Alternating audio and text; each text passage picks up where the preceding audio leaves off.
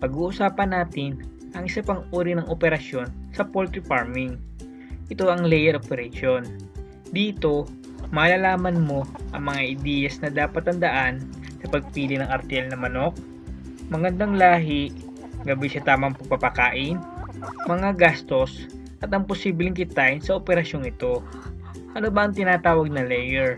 Ang mga layer ay manok na pinalaki para sa produksyon ng itlog. Ito ay karaniwan ng itlog sa edad na 20 weeks hanggang 72 weeks na may mahusay na produksyon. At pagkatapos maabot ang mataas sa produksyon sa pangitlog, maaari mo may pagbenta bilang karne naman ito. Tandaan, hindi po kailangan ng inahing manok ang tandang upang sila ay mangitlog. Gayunpaman, kinakailangan ng isang tandang upang makapag-produce ng fertilized egg para maging sisiw ang mga itlog. Ang lahi ng manok ay isa sa nakaka-impluensya sa produksyon ng itlog. Maliban sa wastong pag-aalaga ng iyong manok. Narito ang mga ilang lahi na magandang alagaan na angkop sa produksyon ng itlog. DeKalb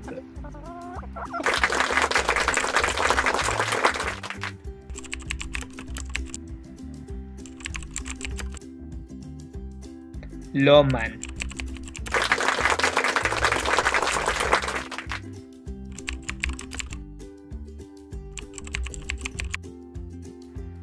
Leghorn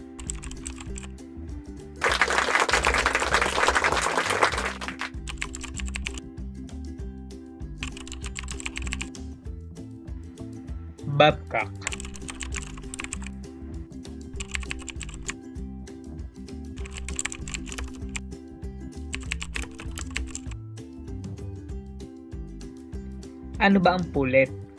Ang pulet ang tawag sa babaeng batang manok na wala pang isang taong gulang.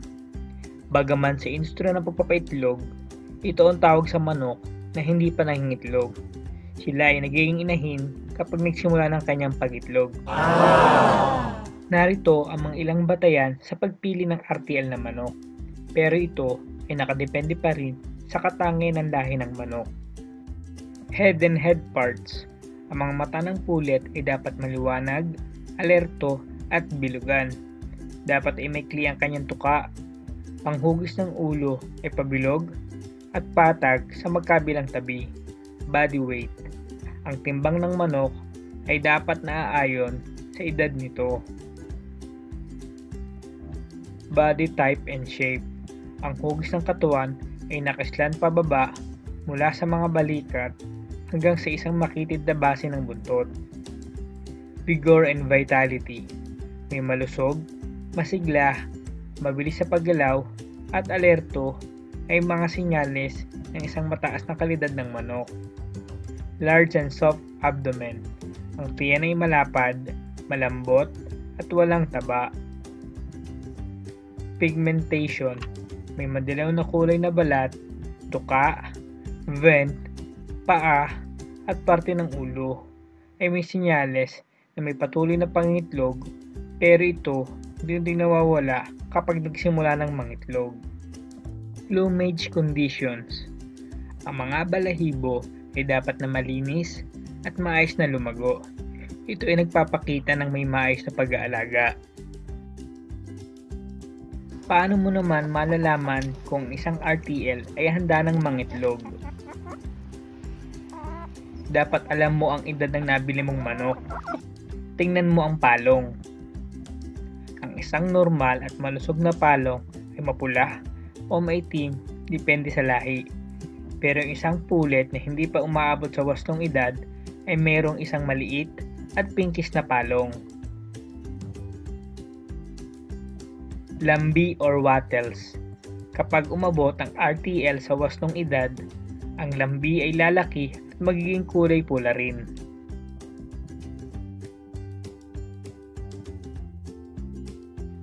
Gayun din ang vent. Ito ay lalaki, mamumula, mamasamasa at lalambot. Dito naglalabas ang manok ng mga itlog kasama ang ihi at ang dumi. Narito naman ang mainam na timbang ng manok base sa edad nito. Atin namang tuusin ang mga gastos at kapital sa chicken layer poultry business.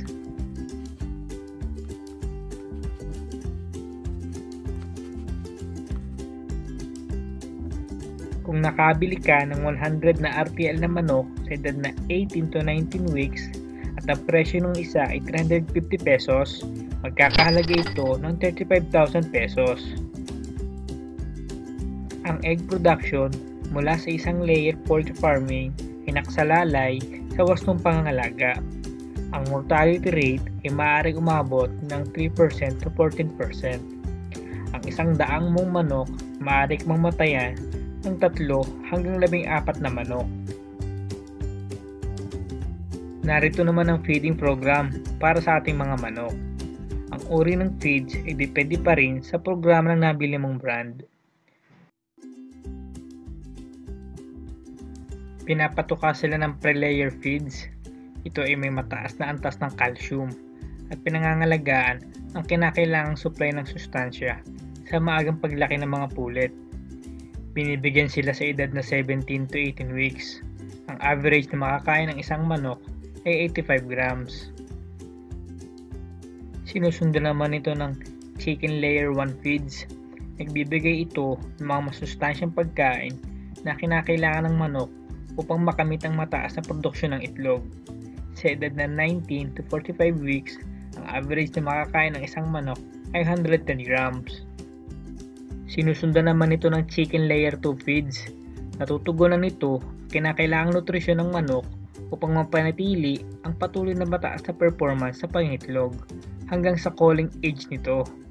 Sa edad na 46 weeks pataas, ang average na makakain ng isang manok ay 110 grams. Sa kabuuan, kung ang average na feeds na makukonsumo ng isang manok ay nasa 110 grams kada isang araw, kung meron kang isang daang manok, ito ay kukonsumo ng 11,000 grams or 11 kg kada araw. Kung ang presyo ng feeds ay 1,250 pesos kada isang sako at 25 pesos kada kilo, gagastos ka ng 275 pesos sa 100 na manok kada araw or 2.75 pesos naman ang gastos mo sa isang manok kada araw. Gagastos ka ng 1,250 pesos ng isang sako kada 4.5 days. Sa panimula, part ng initial investment mo talaga ang feeds. Nakapagsimula ka sa week 18, gagastos ka ng 1,428 pesos. Sa week 19 to 22, gagastos ka naman ng 5,535 pesos. Sa unang buwan ng pag-aalaga mo, ang total fees na magagastos mo ay 6,963 pesos. Kinakailangan mo rin mag-invest sa cage at building. Maaari kang gumawa gamit ang kawayan o kahoy sa mas mababang halaga. Sa kabuuan, maaari kang gumastos ng 10 to 15,000 pesos kasama ng building. Meron namang nabibiling ready-to-made na battery cage maaari kang gumastos dito ng 25 to 30,000 pesos kasama ang may matatag na building. Isama mo rin ang gastos mo sa buwan ng tubig at kuryente. Maglaan ka ng gastusin na 300 to 400 pesos kada buwan. Medicines at vitamins. Maglaan ka rin ng gastusin na 200 to 400 pesos kada buwan at iba pang gastusin na 500 to 800 pesos kada buwan. Karamihan sa inahing manok, ang pinakamataas sa produksyon ay halos nasa 30 weeks ng edad. Ang mga unang itlog nito ay maliit, lalaki sa paglipas ng panahon, pero bababa naman ang produksyon. Halimbawa, kung ang iyong manok ay nakapangitlog ng 250 piraso sa kanyang unang taon, bababa ang produksyon ng 80% pangalawang taon, katumbas ng 200 na itlog pangatlong taon, bababa naman ito ng 70%. Ika-apat na taon ay 60% kumpara sa unang taon. Ang manok habang tumatanda ay lumalaki naman ang itlog.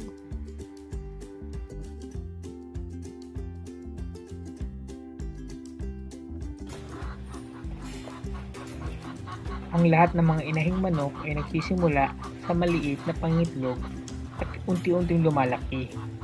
Sa mga unang linggo ng pangitlog ay maaaring hindi regular ang sukat, may malambot na mga shell, walang yolk, o may doble yolk.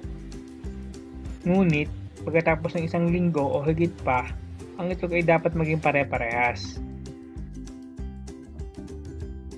Ito ang mga klase ng timbang ayon sa kanilang bigat.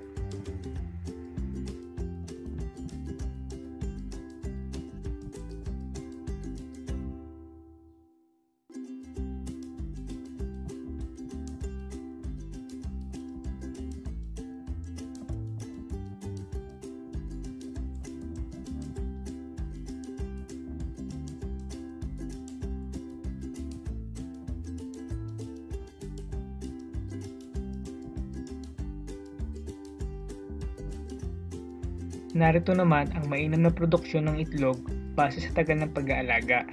Ikumpara mo ito sa bilang ng aktwal na itlog. Ito naman ang formula para mo makukuha ang egg production rate kada linggo or araw. Halimbawa, noong week 20, nakapag-produce ka ng limang itlog sa isang araw. I-divide mo ito kung ilan ang inahin mo times 100. Kakalabasan nito ay 5%. Sa table na ito, makikita nyo ang projected monthly egg production ng 100 na manok hanggang 9 months.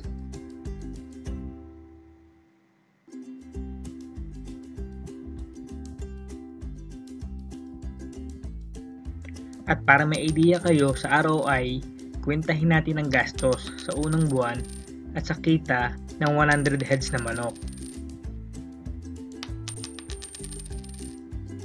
Gagastos ka ng 8,313 pesos. At ang total sale value sa loob ng isang buwan na may 5% na production ay nasa 654 pesos.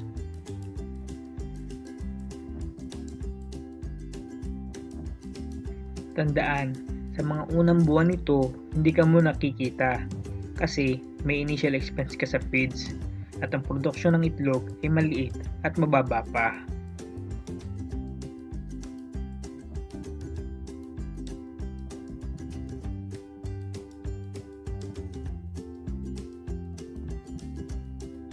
At sa paglipas ng ilang buwan, tumataas ang produksyon ng itlog. Sa ika-anim na buwan, maaaring ang return of investment mo ay nasa 12.38% or net income na 7,428 pesos.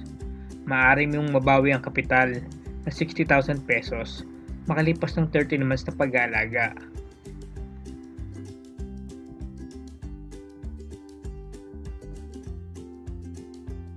Meron po akong ginawang tool para sa layer business na ito.